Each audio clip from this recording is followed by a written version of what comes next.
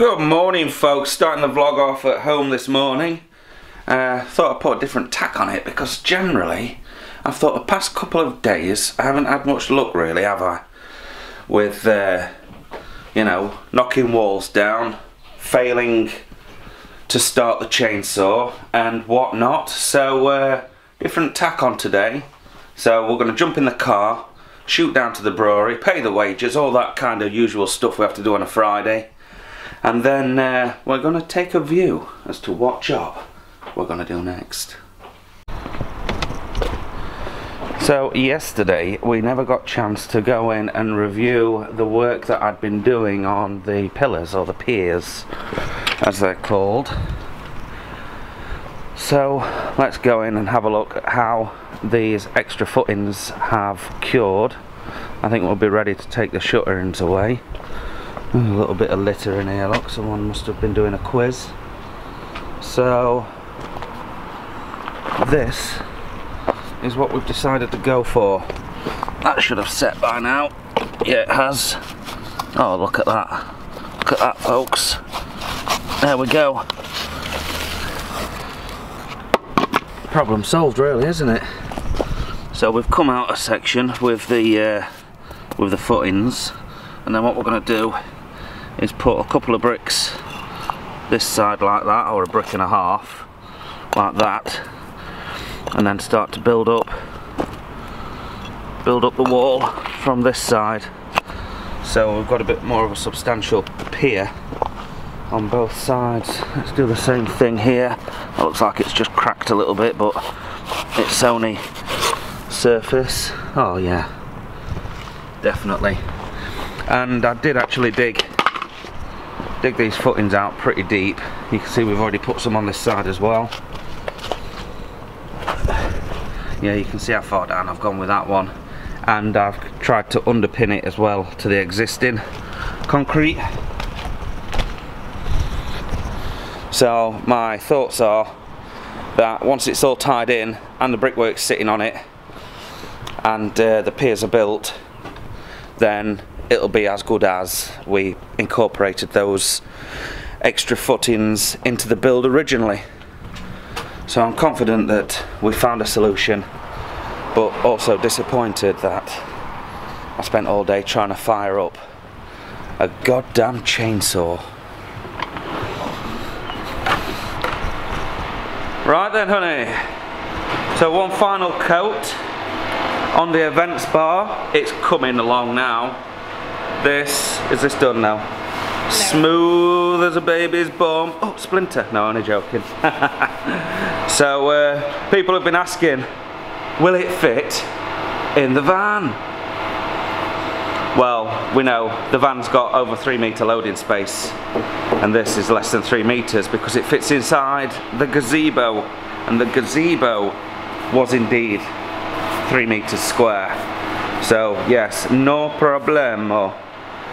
So we'll just need to get some of this stuff moved and tidied up and then uh, get it packed away and stowed onto the van. Stowed pipe. That was wrong.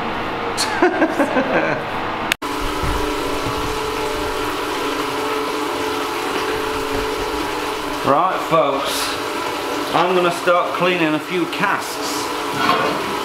So I suppose it's the ideal time for me to show you our cask cleaning routine and it gives me something for the vlog today. Hey, everyone's a winner. So normally what we do is uh, the cask will arrive on site like this. It'll have a hard peg in the shive and a cork in the keystone if indeed it's been tapped correctly. There are some different types of uh, extraction methods where they use vertical ale extractors instead of traditional cask taps but we're not going to that here. Just turn that off a little minute while I'm talking. So normally what I do is pull out the cork, pull out the hard peg and then I usually... Hello mate. Uh, bad time? No, you're alright. I was just about to, I'm just doing a video like. Right, so as I was saying, uh, before we were interrupted, so I save, I generally tend to save the hard pegs and the corks and we'll just wash them and dry them out on the side. These are old ones, look, and they're only going in to empty casks.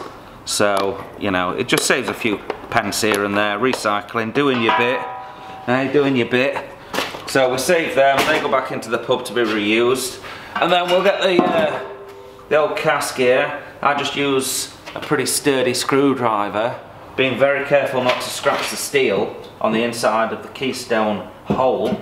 And I just prise the keystone out like that. That goes in the bin. And then on this side, where we've got the shive, if you look back in the video history, you'll see that I made this tool, but you can buy them, just basically a de-shiving tool. Looks like an ice pick. And then I'll just stick that in the center of the shive hole. Again, being careful not to scratch the side of the hole. If you scratch the sides of these holes, then you cause the whole cask to leak. And we'll just prise it out like that. That goes in the bin. And then, if I just pan up a little bit, you'll see on the cask washer, there we go, we've got one on there already which has been rinsed. So that can come off. And then we basically get the slops on the cask washer, turn on the tap, there's a spray ball in there, and that spray ball is going to rinse all the inside of the cask, get rid of most of the beer and yeast deposits. That goes to waste down the drain and uh, then all of the was washed casks will be piled over there, ching. And then the next job is to cycle through uh, caustic rinse and acid before we fill. So they all have a rinse first. They'll all get processed with de-shiving, de-keystone and rinse and then they all come back to the other side and we go caustic, rinse, acid, fill. Folks, I am a sucker for punishment. Don't you know it? Yes. Back on the deck. Of course, with everything in pieces. So we've got to try and get this carburetor back together and uh, see if I can finally get it working. See that feels better. I've cleaned this out completely. That went that way. Right, quit.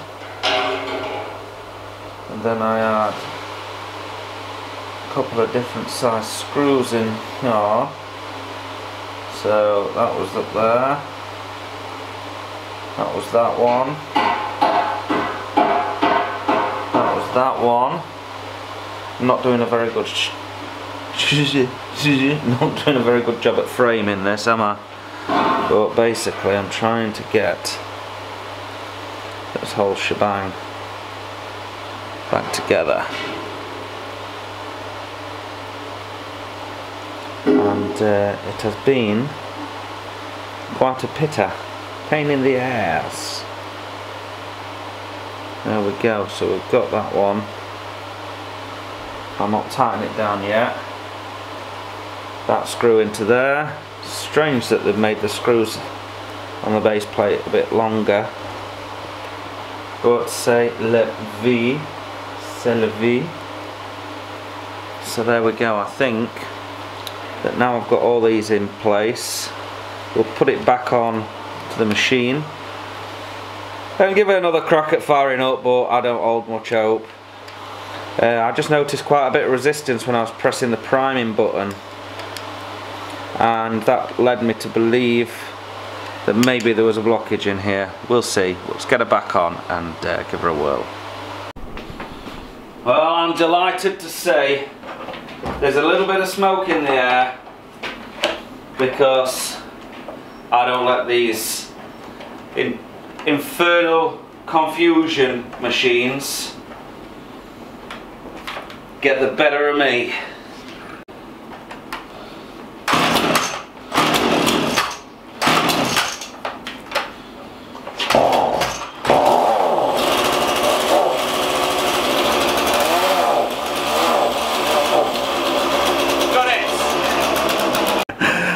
Chuffed I've got that working anyway. But yeah, unfortunately there are people in the bloody beer garden again.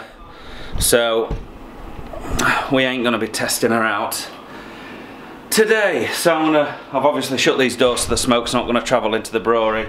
Got the back door open to air it out. I'm gonna go and get myself cleaned up and I've got 12 casks of bitter to fill up now. Gemma's done pretty much all of the cask washing, bless her.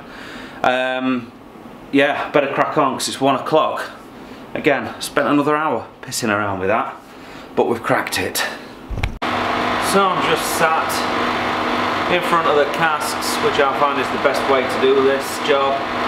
Uh, they're all washed and cleaned with acid, and we've also had, because this is our best bitter, they've had half a pint, or a pint should I say, of finings into each cask 500 mil to be exact.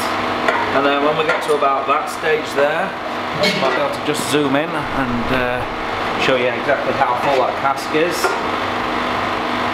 We pull the filling spear out, let it drain and then simply move along to the next cask.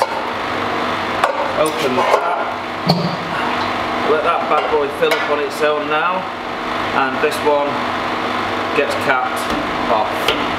I don't prime any of the casks with any priming sugar and I tend not to stop the beers above their terminal gravity. Whatever they finish out at is what they go into the packaging at and because I've cold crashed it generally what happens is the beer will absorb a little bit of CO2 during the cold crashing stage so it's got enough carbonation in there to give it some condition when it goes on the bar. I've been doing it like this now for three years and not once have I had any issues. All I need to do now is get a big mallet and hit these shives in and uh, then there we go. That'll be the casks filled. It really is as simple as that. And I made this uh, filling uh, tool myself as well.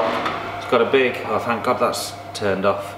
It's got a big uh, one inch BSP uh, lever valve here. And then it goes on to, uh, I think these are three quarter inch or one inch BSP um, cam locks. And I prefer the cam locks to any other fitting because uh, if you're transferring any fluids that might be a little bit dangerous like when I'm recirculating caustics or something you can lock these wings off with pins and uh, it won't come off them if you accidentally disconnect the levers. Can you imagine that pressurized with like acid or something and you pop that off it's going to go everywhere and be a real big mess. And then all I got here was, uh, this is just a stock elbow from GC Supplies and uh, a little bit of one inch ID stainless tubing. Just welded onto a threaded nipple there and then I can remove all these components to replace them if I need to uh, or to give them a good soak in a caustic bath or something like that or get into them with a you know pop knobbing fanny job what's it called? A little brush and give them a good old clean up Right, we've thrown the mobile bar, it's now mobile because it's on a van, uh, on the back of the van. It fits with room to spare, look. Uh, people fussing. Is it going to fit? Look how much room we've got. So we've got the remote chiller down this side. There's the keg font gone in. Can't get out that way now. and, uh, and the hand pull. There we go, look, still got an old IVB sticker onto it. I remember when I had these printed. Stuck them all the way around Newark when we went over to Newark Beer Festival. A uh, few beers to go on, stillage. That's not the beer actually, the beer's still in the cold room. Uh, transformer, CO2 cylinder, kegs. Are you taking the gazebo? You are, aren't you? Yeah. Gazebo, kegs for people to sit on. And then Stu's just taken this off the van. This is some 12mm rebar that I've got for when we build those piers, the new piers. I'm going to be reinforcing them with rebar so that they don't fall over if anybody's leaning on the railings. I don't know why I didn't think of it before because then those smaller piers would have actually taken the strain because the rebar would have caused compression within the cement instead of expansion thus breaking it. So you live and learn. I don't like doing jobs twice as I keep saying. So uh, yeah we're almost wrapped up now. We've got all the casks taken out of FV1 so the best bitter is now done with. I've taken all the ports off given them all a clean put them back on again. So that's ready for clean in place which uh, will be caustic and acid next week. Um, everything's washed up.